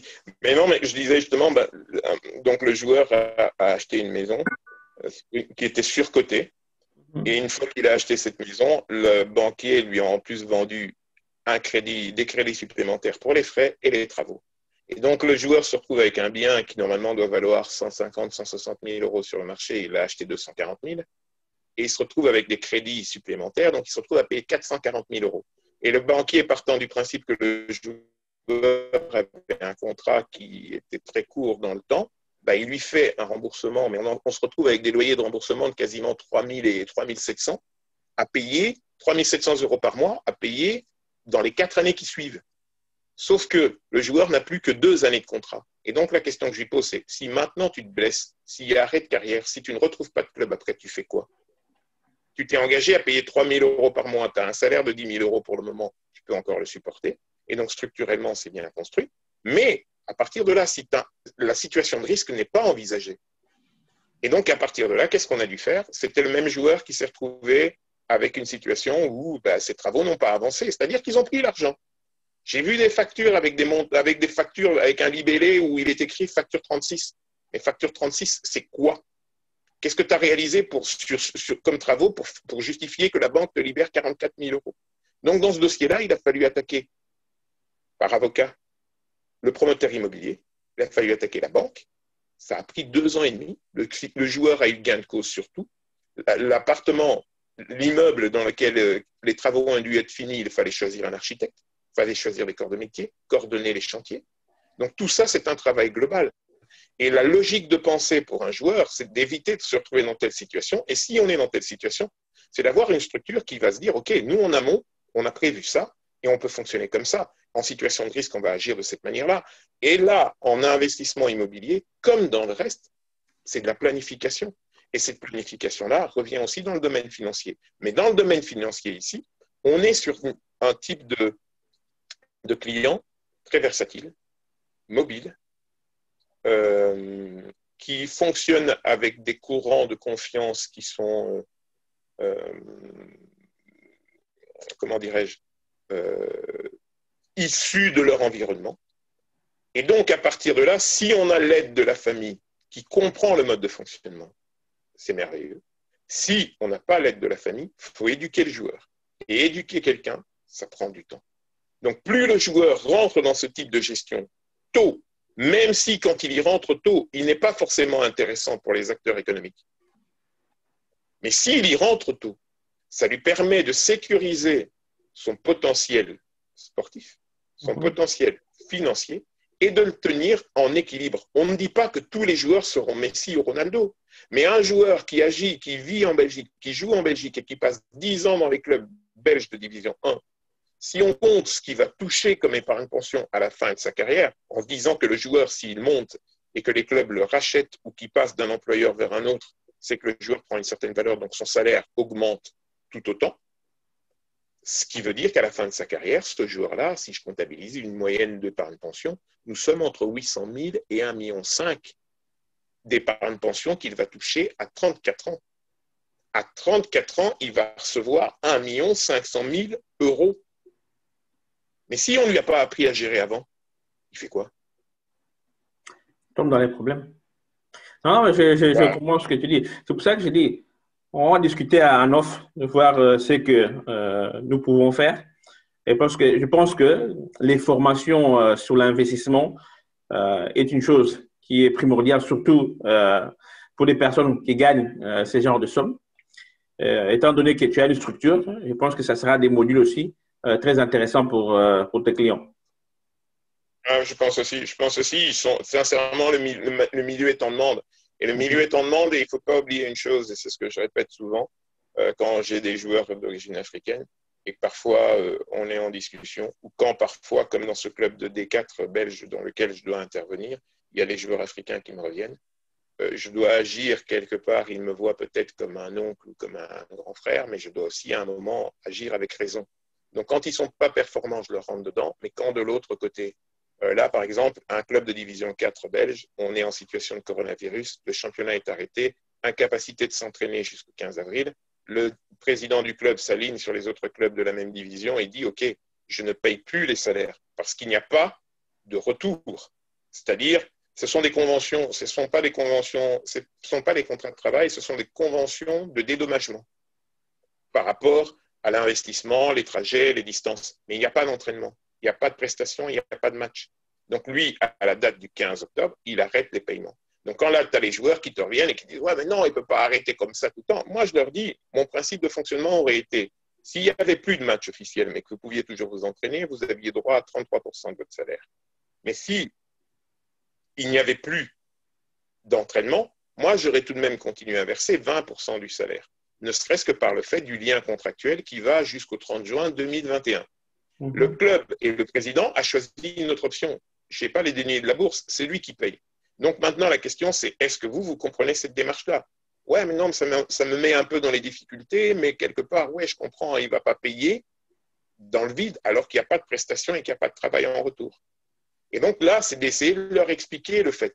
Mais en même temps aussi, par moment, de défendre leurs droits et de défendre leurs trucs. Quand tu as un joueur qu'on considère très, très, très bon, qui a un potentiel énorme et que l'entraîneur vient te dire, oui, mais ah ouais, il a vraiment, c'est vraiment la pique un type, la pique un type, hein. Ah, il est un peu nonchalant, comme ça, il est passif. je regardé, je dis, il n'est pas nonchalant.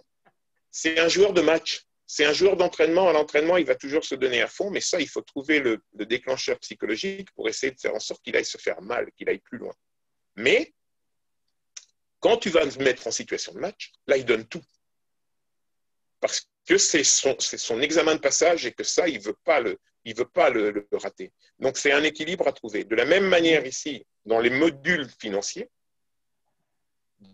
dans les modules d'éducation à la finance, c'est ce, cheminement-là et cette méthodologie-là qu'il faut trouver pour, s'exprimer, pour exprimer quelque chose et, créer des interactions avec un monde qui n'est pas forcément habitué à rester une heure et demie assis à, à emmagasiner des informations. Donc, il faut trouver quelque chose de ludique, il faut trouver des systèmes avec beaucoup d'exemples, il faut les mettre en situation, il faut prendre leur confiance pour que quelque part ils puissent s'exprimer de plus en plus et pouvoir répondre à des questions. Quand je, parle, je posais la question, je, je parlais tout à l'heure d'une voiture en leasing pour un joueur qui veut acheter une voiture. Mais c'est très simple.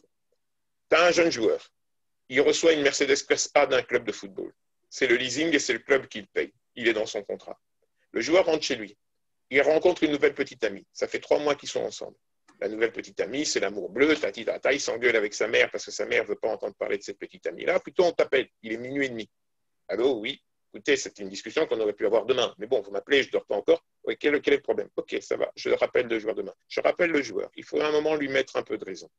Et en fait, tu apprends que la mère n'était pas d'accord parce que le joueur voulait racheter une voiture à sa petite amie et que la voiture qu'il voulait acheter à sa petite amie, il voulait la payer cash pour avoir une Golf décapotable, la petite Golf décapotable. Il voulait la payer cash.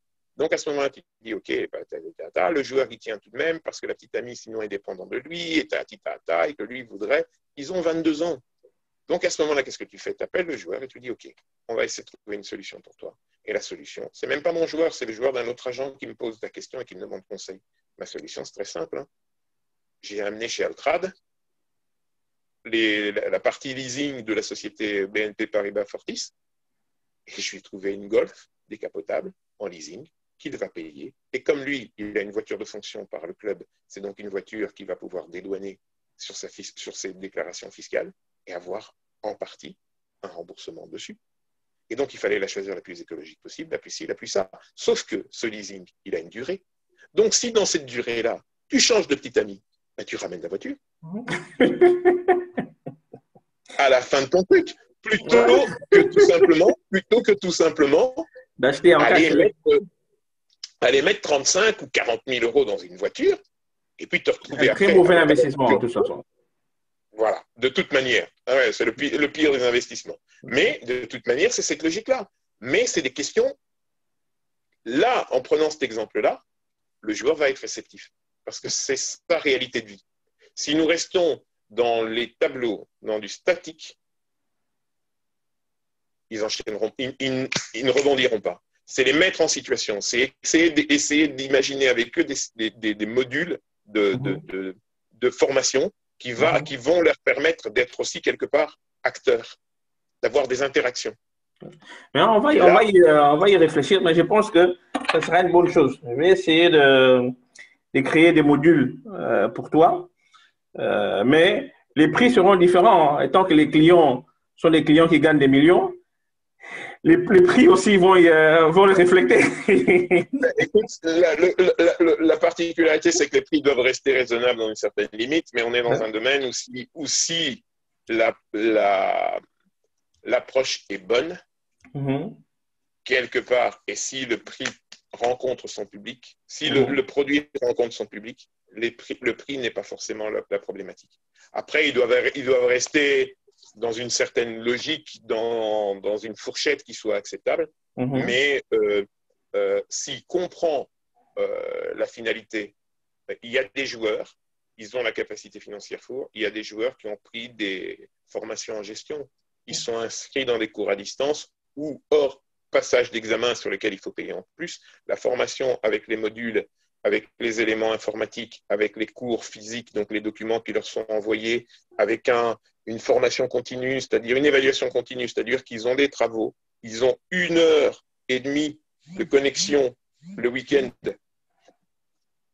euh, possible avec un formateur, avec des échanges qu'ils ont. C'est des formations où ils payent 2000 et demi, 3000 euros l'année, hors passage d'examen. Quand ils s'inscrivent pour l'examen, ils payent un supplément.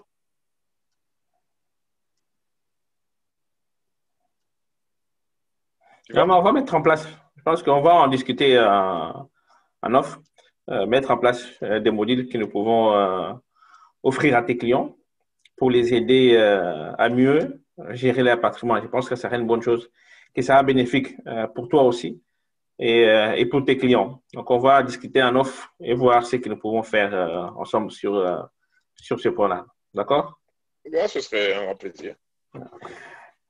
L'avant-dernière question, c'est, tu dis que voilà, les joueurs sont, ou bien les gens qui jouent au, foot, sont, quand je t'entends parler, des gens impulsifs.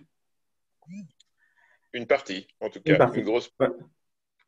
Mais côté euh, finance et investissement, toi qui, qui es dans, ce monde depuis longtemps, donc quoi est-ce que la majorité des joueurs investissent leur argent? Et quand je parle d'investissement, je parle euh, plus dans les actifs qui peuvent rapporter euh, plus tard. très très peu investissent sur des produits euh, boursiers ou sur des produits sur les marchés euh, euh, entre guillemets en situation de risque. Mhm. Ceux qui en ont la capacité et qui ont des conseillers financiers qui peuvent diversifier leurs placements le font dans une certaine mesure. Mais le joueur lambda, si on prend le cas de 80% des joueurs professionnels en Belgique, ne vont pas trop sur ça. Ils investissent beaucoup dans la brique, dans l'immobilier parce que c'est le premier pôle d'investissement dans lequel, dans lequel il se voit aller directement.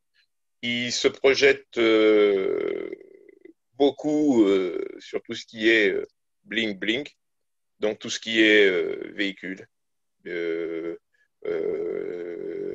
bijoux, vêtements. Ce n'est pas un investissement, c'est de, la dépense à perte, mais ça, ça prend une place énorme. Et puis alors après. Est-ce que, c'est l'entourage, c'est le, se faire voir Parce que ça, j'attends, c'est quelque chose que j'attends beaucoup en fait. Et j'ai jamais euh, compris euh, pourquoi. Mais bon, c'est parce que si euh, j'ai d'autres éducation et étant dans le monde des finances, tu réfléchis différemment aussi. Tu réfléchis différemment, tu as une autre approche. Mais là, eux, ils sont, ils sont dans une démarche où il y a une, il y a une identité, il y a une identité de milieu. Mhm. Et cette identité de milieu, un joueur de foot bah, se mène avec tel tel cadre. Euh, je l'ai en étant agent, en commençant aussi peut-être très jeune ou en ayant ce côté-là. Oui, j'aime euh, tel ou tel élément de luxe, mais c'est toujours intégré dans un projet plus global. Là, non, il faut, il faut ressembler au milieu dans lequel on est. Et donc, à partir de là, c'est euh, les virées, les sorties, euh, la dépense. C'est-à-dire que euh, on pourrait, toi comme moi, peut-être se permettre d'aller trois, quatre fois euh, le mois, la semaine, que sais-je, au restaurant. Ben, on va choisir différents restos. On va choisir des restos plus pour le plat que pour le cadre. Mais là, quand tu es joueur de foot, ben, tu choisis le resto pour le cadre et le plat. Donc, tu vas aller vers celui qui coûte le plus cher. Et donc, par exemple, je prends un exemple d'un joueur qui allait souvent dans un restaurant en ville. Quand il allait dans un restaurant en ville et qu'il venait tout seul, il laissait 10 euros pour boire. Et quand il allait et qu'il était accompagné le trois quarts du temps d'une jeune dame, ben, il laissait 100 euros de pourboire. Mais dans le même resto, histoire juste de marquer un peu plus ses impressions. Et donc, au lieu d'apprendre à faire une salade César et la faire tout seul chez lui à la maison en ayant acheté les les ingrédients ben, quand il rentrait d'un entraînement et que l'après-midi, ben, il était parti en voiture jusqu'à Maastricht faire les courses et tati tata et qu'il rentrait chez lui, il donnait un coup de téléphone au resto, il venait chercher sa salade César, qui coûtait 10 ou 12 euros au resto. Il venait la chercher à emporter. Mais à 10 ou 12 euros tous les jours. Alors que ta salade pour 10 ou 12 euros des salades César, t'en manges toute la semaine. Hein. Mais tu dois juste, petit à petit, rentrer dans un contexte qui fait que. Et ces, joueurs-là, donc fonctionnement, fonctionnant dans ce microcosme-là, ben, ils terminent l'entraînement, ils peuvent manger. Un joueur débutant termine l'entraînement, il mange le repas de midi à la cantine du club. Un joueur professionnel euh, aguerri qui a 27-28 ans termine l'entraînement, il part avec les potes au resto. Il part avec deux, trois potes de l'équipe qui sont dans son cercle fermé, qui sont de, son, de sa génération, de son âge, ils vont au resto. Et donc, celui qui mange au club et celui qui mange au resto, ben, le resto dans lequel il va, s'ils sont trois, ils s'en sortent en buvant très peu d'alcool, quasiment pas du tout, parce qu'ils ont une certaine hygiène de vie tout de même. Ben, tu t'en sors tout de même avec 300, 250, 300 euros par. facilement. Et donc, si tu fais ça tous les deux, trois jours, si à côté de ça, ben, tout ce que tu achètes comme veste coûte au minimum 750 euros, la veste, euh, si tu achètes, euh, je suis rentré dans des, dans des garde-robes où je ne sais pas comment il faisait pour porter toutes ces baskets sur une année. Il devait y en avoir au moins, au moins une centaine de paires de baskets. Mais si tu fais avec 100 paires de baskets? Ah ouais, mais non, mais j'aime bien, j'aime bien la mode. Ok, moi aussi j'aime bien la mode, mais je ne suis pas couturier. Je n'ai pas besoin d'avoir, j'ai pas besoin d'avoir euh, toute une garde-robe, un dressing qui est une pièce entière, ou dans un espace de dressing, tu as une centaine de paires de baskets. Et ça, je te parle, je parle que des paires de baskets, je ne te parle pas des mocassins et du reste. Donc là, c'est une, logique de pensée. Mais si maintenant ce joueur-là sort de cette logique de pensée, c'est pas qu'il est exclu du milieu, c'est que lui-même, par rapport aux valeurs euh, générées par le milieu, mhm. il ne se sent pas forcément en adéquation.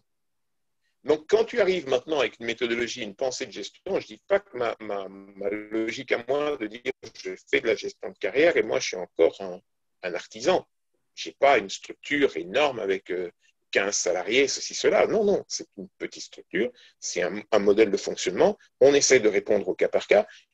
Et pourquoi je dis je garde mes cinq clients? Parce que je considère que si je dois en prendre un sixième, un septième, c'est que je dois engager, employer quelqu'un qui aura la même philosophie. Donc si maintenant j'arrive à 10 clients, ben, c'est que nous sommes plus, je ne suis plus seul décideur, nous sommes deux. Et nous partageons la logique. Pourquoi? Parce que cette logique veut moins de clients, plus de présence, plus d'implication, plus de contact et plus de flux, plus de flux financiers, parce qu'on doit répondre à des besoins. Et ces besoins trouvent une réponse sur le marché. Quand ils sont choisis et, sont, et les partenaires sont suffisamment compétents et ont suffisamment bonne réputation, ça permet de sécuriser le business model. Et à partir de là, c'est un mécanisme, c'est un cercle vertueux. Et à partir de là, on essaye de continuer à garder cette dynamique avec le joueur sur la durée. Mais si maintenant je dois faire ça avec 50 ou 60 joueurs, ben, je n'aurai pas la même présence, je n'aurai pas le même contact, je n'aurai pas la même confiance. Donc c'est une capacité de gestion qui est totalement euh, hors norme. Je pourrais gérer 15, 20 portefeuilles d'investisseurs éduqués, lambda, qui connaissent le système parce que les échanges vont être très rapides, très brefs. Là, je dois éduquer quelqu'un qui n'est pas forcément issu de ce monde-là. Donc, je dois faire attention à ce que je dis. Je dois partir sur certains principes. Je vais, par exemple, prendre un exemple. Un joueur vient depuis la France. Un autre joueur à lui a acheté une maison sur un conseil qu'on a pu lui donner. Et il dit, bah oui, je voudrais bien acheter une maison. Ah, ok, pas de problème. Ouais, mais je t'envoie le mandat, je fais le truc. Non, non, non. Tu m'envoies un mandat de recherche. Et sur le mandat de recherche, il y a 3% de commission sur la valeur totale du projet. Et sur les 3% de commission sur la valeur totale du projet, il y a déjà 1% en provision. Donc au moment où on signe la convention, tu as 8 jours pour que cette somme soit disponible sur le compte. Sinon, le mandat n'est pas pris en compte. Donc dans les 8 jours, la somme est présente, tu commences à faire les recherches, tu échanges avec les différents notaires, tu échanges avec les différentes agences immobilières, tu cherches le bien qui correspondrait au cahier des charges qu'il t'a donné, ou plutôt que tu lui as demandé et que, sur lequel vous avez, pu construire ce cahier des charges ensemble. Et une fois que tu as trouvé ça, ben, tu vas vers l'agent immobilier, qui va vers le notaire. Le notaire soumet un, un compromis de vente. Le compromis de vente, le joueur te dit oui, mais je te donne le mandat, tu le signes. Non, non, non. On va jusqu'à toi. Tu signes le compromis de vente avec photo, avec témoin. On revient là. Le compromis de vente est enregistré par le notaire. Le notaire garde le compromis de vente. Il y a une date d'acte de vente qui est déterminée. À la date d'acte de vente, il me dit Oui, mais je te donne un mandat ou j'envoie mon avocat. Non. Donc le joueur a dû partir d'Italie où il jouait, arriver à Paris, revenir jusqu'en Belgique. Il arrive. Mais tout ce que je t'explique là, il signe l'acte de vente. Au ce moment-là, tu lui dis Mais écoute, comme tu es ici, bah, on n'a qu'à aller voir la maison. Parce que lui, physiquement, ce bien, il ne l'a jamais vu. Ah, mais non, c'est pas possible, je dois repartir. Donc, il est venu de Paris en taxi. Il est reparti à Paris en taxi. Et puis, quand tu es retombé sur des gens qui sont un peu du même microcosme, les gens te disent Ouais, il est reparti à Paris parce qu'il avait les potes qui l'attendaient. Ils ont fait la tournée des Grands-Ducs, ils sont passés chez Louis Vuitton sur les champs et autres, et ils ont fait les courses. Et ils ont dépensé entre 50 et 80 000 euros. Mais le joueur n'a jamais vu son bien.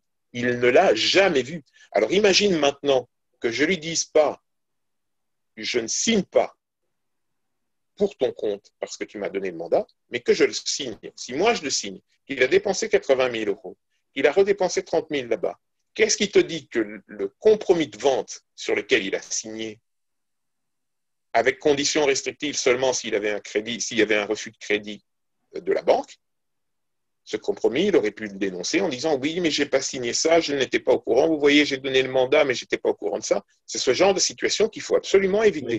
D'où l'importance de les éduquer sur la prise de responsabilité.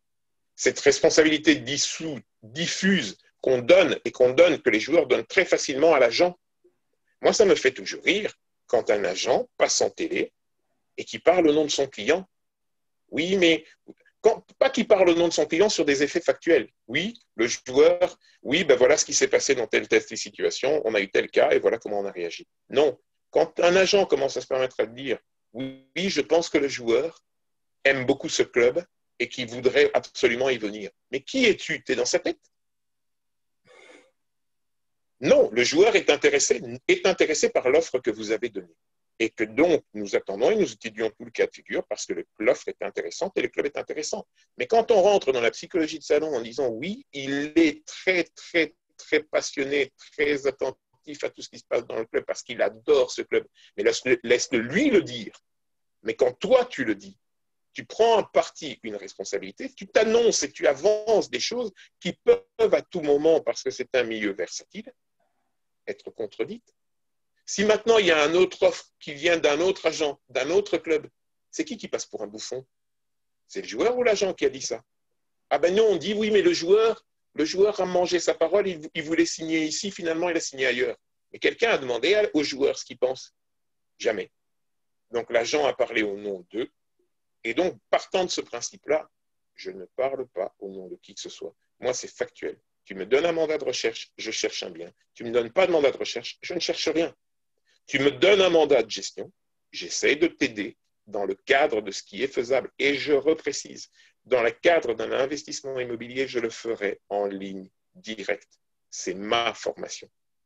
Mais dans le cadre d'un investissement sur des produits d'assurance et autres, je prendrai conseil automatiquement sur des personnes compétentes, reconnues et qui exercent le métier dans un cadre juridique, en respect des règlements jamais donc aller vers ce cadre-là. Sauf que c'est complètement en contradiction de ce que tu disais tout à l'heure quand je dis que ce monde est un monde où on agit par impulsion, où on agit en réaction, où on agit sans forcément penser à moyenne, moyen ou longue échéance. Pour la bonne et simple raison que de la même manière qu'un joueur peut changer de club, peut changer un joueur peut se sentir très bien avec un entraîneur aujourd'hui et demain venir te dire je veux partir. Ce joueur peut aujourd'hui te dire je cherche une maison et se rendre compte qu'il a déjà dépensé 400 000 euros de son pactole et que finalement il n'aura pas les fonds. Et qu'en plus de ça, il a oublié et, qu'en plus de ça, il a oublié de te dire que bah oui, on a signé un compromis de vente. Mais j'ai signé un compromis de vente, je roule en BMW X5, je ne paye pas mes PV, je n'ai pas payé le crédit de ma BMW X5 depuis trois mois. La banque m'a envoyé des recommandés à une adresse, mais comme j'ai été joué à l'étranger, je n'ai jamais repris les courriers. Et donc, toi, tu signes un compromis de vente quelque part qui t'engage à 580 000 euros sans condition suspensive. et que de l'autre côté, après, la banque qui te donnait le crédit pour ta voiture te rappelle en disant, mais votre voiture, euh, vous êtes fichier bancaire. Donc, quand tu as signé le compromis, tu veux signer l'acte, mais l'acte est refusé parce que la banque ne t'autorise plus de crédit. Et donc, toi, tu te retrouves avec un, un acompte sur 530 000 euros, un acompte de 84 000 euros perdus. 84 000 euros perdus. Et à ce moment-là, tu as un coup de téléphone, et tu as un coup de téléphone du joueur qui te dit Ouais, mais Eric, est-ce que tu ne peux pas faire quelque chose? Qu'est-ce que tu veux que je fasse? Que je change les lois? Je ne sais pas, eh oh, je, moi, je ne peux juste que prendre, je ne peux juste que prendre la situation et te dire, bah oui, tu as 84 000 euros de perdus. Maintenant, comment on va faire? Bah, D'abord, la première des choses, c'est que tu vas prendre les dispositions avec la banque pour le fichage bancaire, essayer de sortir de là. Est-ce que et tu lui poses la question, mais eh, c'était quoi le problème? Ben non, tout simplement, les courriers, je ne les ai pas pris. C'est pas plus compliqué que ça. Il n'a pas pris les courriers. Mais des cas comme ça, j'en ai des dizaines. Des joueurs qui achètent une Aston Martin, ils roulent les gens en Porsche Cayenne et ils te disent Je vais acheter une Aston Martin mais je voudrais tout de même garder la Porsche Cayenne. Et tu lui demandes, oui, mais pourquoi? Si tu prends une Aston Martin, pourquoi tu veux acheter une Porsche euh, Tu veux garder la Porsche Cayenne? Oui, mais c'est ma seule voiture dans laquelle ma fille se sent bien. Et dans ta tête, à ce moment-là, tu as un moment d'arrêt parce que sa fille, elle a 9 mois. Et donc, le joueur au pire, et le joueur au pire, il va acheter son Aston Martin, il verse 44 000 euros d'acompte, et au dernier moment, il n'honore pas le reste. Donc, il vient de jeter 44 000 euros sur une valeur de 160 000 euros. Il vient de jeter 44 000 euros par la fenêtre.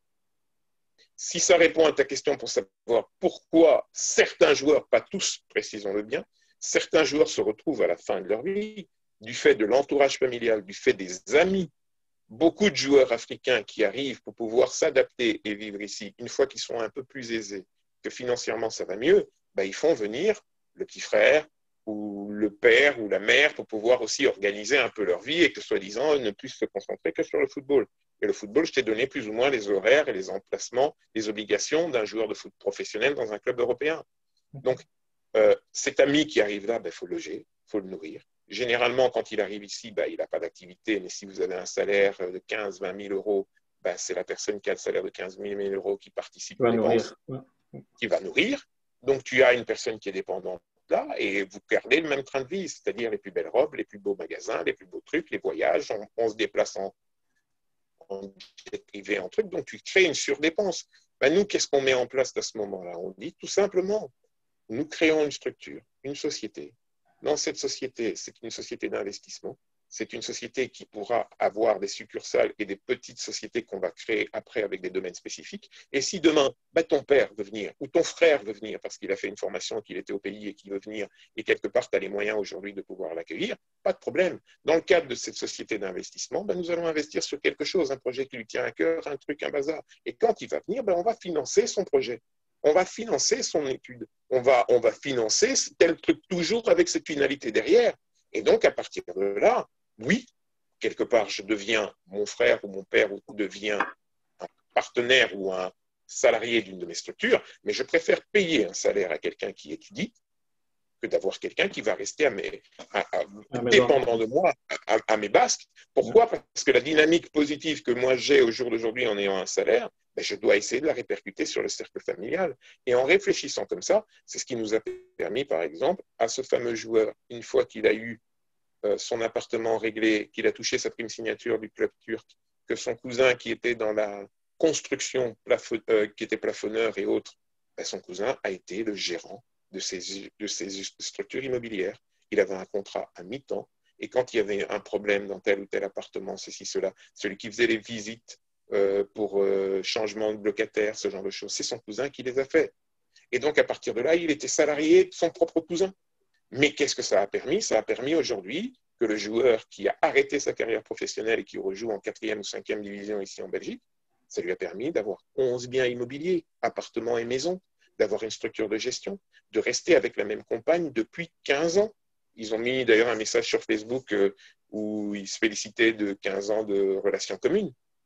C'est ça le truc. L'idée, c'est pas au jour d'aujourd'hui, justement, en ayant cette méthodologie-là depuis une bonne dizaine d'années, 11 ans, je peux dire oui, J'ai vu des joueurs qui ont travaillé avec moi et qui aujourd'hui sont directeurs sportifs, que j'ai transférés en Chine, que j'ai transférés en Hongrie, que j'ai transféré en Turquie, avec lequel on a fait le tour d'une petite partie de la planète et qui aujourd'hui sont directeurs sportifs parce qu'ils ont fait de la formation en management sportif, parce qu'ils ont les diplômes d'entraîneur de la fédération hollandaise. Et tous ces cours-là ont été pris à distance, tous ces cours-là ont été faits par module. Et c'est ça mon travail. Bien sûr, pendant le temps où ils sont actifs, tu gagnes de l'argent. Pour ce joueur-là, c'était un revenu d'à peu près 5 000 euros par an qu'il payait à ma structure pour avoir un suivi dans ce cadre-là. Mais le bénéfice, c'est de se dire, OK, maintenant, ce n'est pas donné à tout le monde. Tout le monde n'a pas forcément cette capacité de compréhension de cette, de cette, méthodologie de gestion. Tout le monde n'a pas forcément les capacités pour être performant et compétent dans un cadre formatif et pouvoir acquérir les principes. Mais le plus gros risque, ce serait celui de ne pas essayer. Parce que quand on a du temps et qu'on a la jeunesse pour, il vaut mieux s'engager à quelque chose en respect de son activité professionnelle et du temps qu'on a. Un joueur de football aujourd'hui qui gagne 10 000 euros par mois peut bien investir 1 500 euros, 2 000 euros par an dans le cadre d'une formation en gestion, d'une formation de nutritionniste, d'une formation de coach sportif ou d'une formation d'entraîneur, c'est-à-dire prendre les cours dans les fédérations du pays dans lequel il est, pouvoir se former petit à petit, prendre le temps de l'analyse et du recul, parce que c'est préparer son après. Ouais. Préparer son avenir, quoi. Donc c'est un peu son après carrière. Ah, Eric, merci beaucoup. Euh, juste un mot de la fin, en fait. Pour les parents euh, qui vont suivre euh, cet entretien, ou bien pour les gens qui aimeraient euh, suivre la direction que tu as pris avec la vision, ou bien les joueurs de foot, quel serait ton conseil ou bien ton mot de la fin pour eux? Oh, C'est difficile parce que chaque projet est très, très personnel, pardon. Et le, le, le plus gros conseil le plus pertinent pour le moment, pour moi, serait trouver quelque chose qui est en adéquation avec sa propre personnalité. Si, ici, ce n'est pas une critique, si on est demain un très bon vendeur et un très bon courtier et qu'on veut faire être agent en n'ayant pas forcément un, un, grand sens du contact ou une envie de rester sur la durée en lien avec quelqu'un, ben on peut faire du courtage et s'épanouir là-dedans placer un joueur dans tel ou tel club et aller de joueur en joueur ou avoir très peu de joueurs ou avoir un gros portefeuille avec plusieurs mandats, plusieurs agents différents et s'épanouir là-dedans. Si on est quelqu'un qui veut toujours dans sa logique de fonctionnement se projeter sur l'avenir et regarder, on peut suivre des cadres formation. Il y a des formations en management sportif qui se font quasiment partout maintenant, dans beaucoup d'universités, dans beaucoup de cadres. Euh, on peut venir de différents domaines. On peut être un économiste, on peut être un très bon juriste, on peut être euh, venir du monde médical et se lancer là-dedans, mais en ayant son vécu, son bagage et avoir sa propre approche. Il faut en fait trouver son créneau. Et de la même manière pour un joueur de foot, on a tous eu le rêve quand on a commencé à jouer enfant, on a tous caressé ce rêve-là à un moment pour pouvoir peut-être se dire, ouais, je, je, je me verrai peut-être bien footballeur professionnel, j'y arriverai peut-être. Et ceux qui y arrivent au final, sont ceux qui ont eu d'abord une énorme confiance en eux, une capacité mentale à supporter la charge de travail et à passer au-dessus, euh, qui est énorme. Les gens ne s'en rendent pas compte, mais c'est inhérent au monde du sport. Se dépasser à chaque fois, à chaque fois, se remettre en question. Un match, quand une équipe joue et qu'elle met six buts, comme le Barcelone de la grande période euh, avec Guardiola, et qu'elle met cinq ou six buts, on se dit ouais, mais c'est trop facile. Mais se remettre, remettre le bleu de travail le lendemain à l'entraînement, repartir, retravailler, retravailler, ça demande une capacité de résilience, une capacité de dépassement de soi qui est énorme. Donc ça, c'est en proportion euh, par rapport au nombre de footballeurs amateurs qui pratiquent, il n'y a qu'un tout petit noyau qui est capable de faire ça. Et donc, quand on n'est pas dans ce noyau-là et qu'on veut rester dans le monde du sport, il faut apprendre à vivre ses rêves autrement. Et vivre ses rêves autrement, c'est parfois faire partie, être entraîneur, être dans l'encadrement, être euh, euh, dans le management sportif, être relation publique d'un club de sport. C'est rester dans ce monde-là, mais le vivre autrement. Garder l'esprit de ce monde-là, de ce cercle-là, et le vivre ailleurs. Je pense que le plus gros conseil qu'on pourrait faire, c'est d'essayer de trouver un, un espace d'épanouissement à soi. Le reste, je suis pas euh, omniscient, je suis pas un savant et je suis pas parfait, donc je ne me permettrai pas de donner d'autres conseils. Alors, merci Eric, merci vraiment euh, pour ton temps, merci beaucoup euh, pour ce que tu viens de, partager. Non, mais... Concernant ce qu'on a discuté, on discutera en off, comme ça on peut essayer de développer des choses et voir quand est-ce qu'on peut se rencontrer face à face pour mettre les choses au point. Donc, merci encore. Ça marche. Et euh, on reste merci en contact. Merci à tout le monde de nous avoir suivis. Si vous avez aimé le contenu et la vidéo, n'oubliez pas euh, de mettre des likes et on se retrouve à la prochaine vidéo. Merci et au revoir. Au revoir. Mm.